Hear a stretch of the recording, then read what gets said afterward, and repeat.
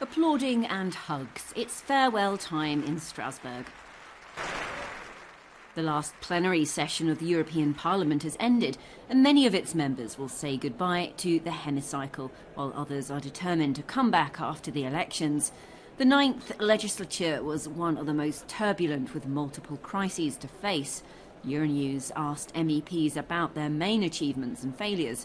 Political groups are mostly proud about their response to the COVID 19 pandemic and Russia's invasion of Ukraine.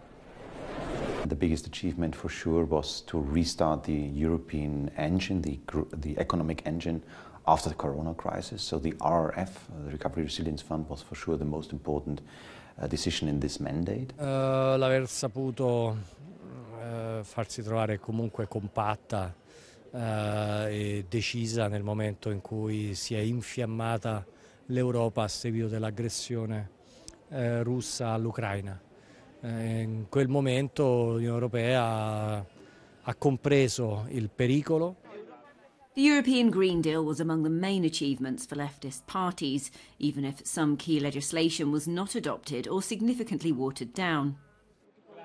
Me hubiera gustado que la ley de restauración de la naturaleza fuera una realidad y hemos trabajado por ello. Por desgracia, el Consejo ha bloqueado esta directiva y esperamos eh, que en el futuro, lo más breve posible, podamos sacarlo adelante.